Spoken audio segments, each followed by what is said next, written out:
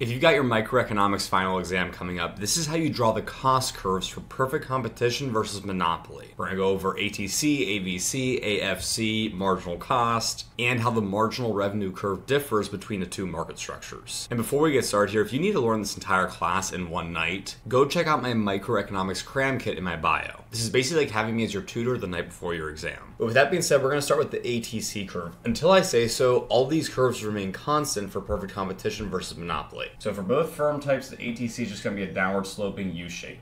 The AVC is going to be positioned slightly below it, and it will get closer and closer to the ATC curve. Because the distance between these two curves at every unit is just the average fixed cost, which will look something like this. It's just going to be a constantly downward sloping line like that probably have it sloping down a little bit more because at this point, this distance right here should be this distance right here. AFC plus AVC equals ATC. All right, so these remain constant whether or not you're working with perfect competition or monopoly. And so does this MC curve. But the key thing that you got to remember when you're drawing these is that it must intersect, I did my best there, but it must intersect the AVC and ATC at their minimum points. It's like right here and right here. The reason being is because marginal cost is the additional cost that a unit brings things. This is going to be largely derived from variable cost because fixed cost stays constant no matter how many units we output. And when the marginal cost or the additional cost of a unit rises above the current average, whether it's variable or total, it's going to start dragging up those curves with it because each additional unit just is getting more and more expensive.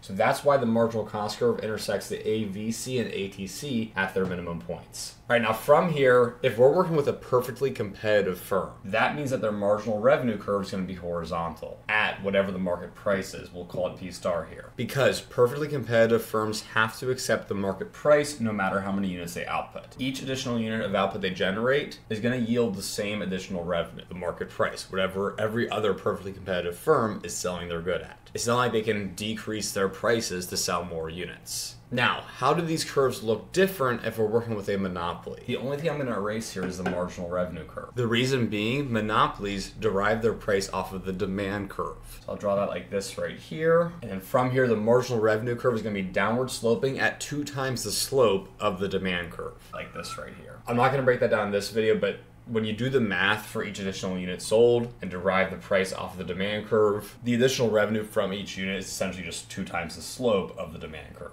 And real quick, I do want to take note of this. This is how you derive price from a monopolistic firm. Pinpoint the MR equals MC point, draw a vertical line. The price is not going to be just that. We got to go up to the demand curve and then across to derive price. Because at this quantity of units, consumers are willing to pay wherever we lie on the demand curve.